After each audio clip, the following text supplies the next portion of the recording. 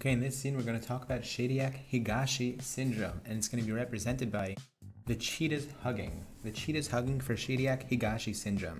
Now, this guy over here is very upset because this is his house over here. He usually keeps his list over here, his list of things to do over here.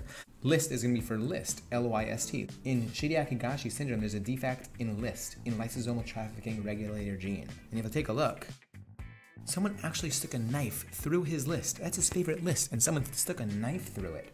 This is going to help us remember that there's a defect in list, a defect in lysosomal trafficking regulator gene. What does this lead to? Well, let's take a look at the list itself. There's a P and an L on it, and the knife is going right through it.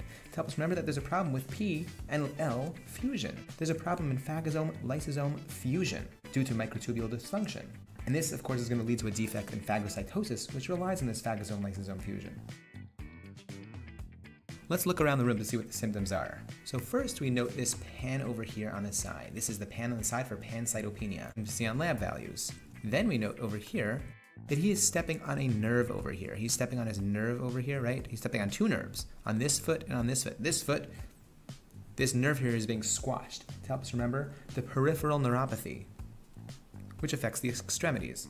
And also the other nerve that's over here, that's under this foot, that's going through, is progressing through the floor. It helps remember the progressive neurodegeneration. Then we note this history book on the floor. The history of lymph nodes. The history of lymph nodes is going to help us remember the lymphohistiocytosis seen in Chediak-Higashi syndrome. We see over here a pie, a pie that has like some sort of infection. The pie here has an infection.